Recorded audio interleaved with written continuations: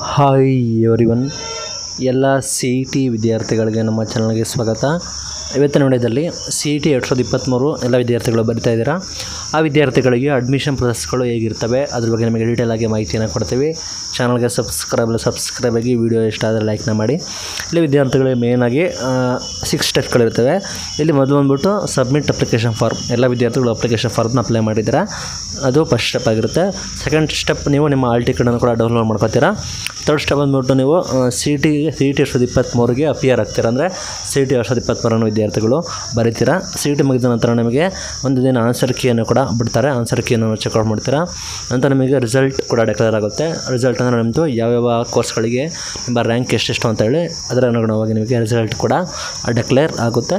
ನಂತರ ಲಾಸ್ಟ್ ಬಂದುಬಿಟ್ಟು counselling stage ಆಗಿರ್ತದೆ ಮತ್ತು counselling stage very very important ಆಗಿರುತ್ತೆ. ಇಲ್ಲಿ ಕೌನ್ಸಿಲಿಂಗ್ ಸ್ಟೇಜಲ್ಲಿ ಒಂದು ಮಾಕ್ ಅಲಾಟ್ಮೆಂಟ್ ರೌಂಡ್ ಇರುತ್ತೆ. ಒಂಥರ first round second round third round ನಂತರ ಎಕ್ಸ್ಟೆಂಡೆಡ್ ರೌಂಡ್ ಕೂಡ ಇಫ್ ನೀಡ್ ಅದನ್ನು ಕೂಡ ಮಾಡ್ತಾರೆ. ಕೌನ್ಸಿಲಿಂಗ್ ಪ್ರೊಸೆಸ್ಗಳು ಬಂದು ವೆರಿ ಇಂಪಾರ್ಟೆಂಟ್ ಆಗಿರುತ್ತೆ. ಅದ್ರ ಬಗ್ಗೆ ನಿಮಗೆ ಸಪ್ರೇಟಾಗಿ ಬೇಕಾದರೆ ವಿಡಿಯೋ ಮಾಡಿ ತಿಳಿಸ್ತೀವಿ. ಇಲ್ಲಿ ಕೌನ್ಸಿಲಿಂಗ್ ಪ್ರೊಸೀಜರಲ್ಲಿ ಸಿಂಪಲ್ ಇಲ್ಲಿ ಕೌನ್ಸಿಲಿಂಗ್ ಪ್ರೊಸೀಜರಲ್ಲಿ ನಿಮಗೆ ಗೊತ್ತಿರೋ ಹಾಗೆ ಆಪ್ಷನ್ ಎಂಟ್ರಿ ಕೂಡ ಮಾಡ್ತೀರಾ. ನಿಮ್ಗೆ ಯಾವ ಕಲರ್ಸ್ ಬೇಕು ಅದನ್ನು ಆ್ಯಡ್ ಮಾಡ್ತೀರಾ. ಯಾವ ಕಲರ್ಸ್ ಬೇಡ ಅದನ್ನು ರಿಮೂವ್ ಮಾಡ್ತೀರಾ. ಆಪ್ಷನ್ ಎಂಟ್ರಿ ಕೂಡ ಮಾಡ್ತೀರಾ. ಆಪ್ಷನ್ ಎಂಟ್ರಿ ನಂತರ ನಿಮಗೆ ರೌಂಡ್ ವೈಸ್ ನಿಮಗೆ ರಿಸಲ್ಟ್ ಕೂಡ ಪ್ರಕಟ ಆಗುತ್ತೆ. ರೌಂಡ್ ವೈಸ್ ರಿಸಲ್ಟ್ ಪ್ರಕಟ ಆದ ನಂತರ ನೀವು ನಿಮ್ಮ ಚಾಯ್ಸ್ ಎಂಟ್ರಿ ಮಾಡ್ತೀರಾ. ಫಾರ್ ಎಕ್ಸಾಂಪಲ್ ನಿಮಗೆ ಯಾವುದೋ ಒಂದು ಸೀಟ್ ಇರುತ್ತೆ. ಅದು ಸೀಟ್ ಬೇಕೋ ಬೇಡವಾ? ಆ ಸೀಟ್ನ ಹೋಲ್ಡ್ ಮಾಡ್ತೀರಾ? ಇಲ್ಲ ನೆಕ್ಸ್ಟ್ ರೌಂಡ್ಗೆ ಹೋಗ್ತೀರಾ? ಇಲ್ಲ ಕ್ಯಾನ್ ಸೀಟ್ನ ಹೋಲ್ಡ್ ಮಾಡಿದ್ರೆ ನೆಕ್ಸ್ಟ್ ರೌಂಡಿಗೆ ಹೋಗ್ತೀರಾ?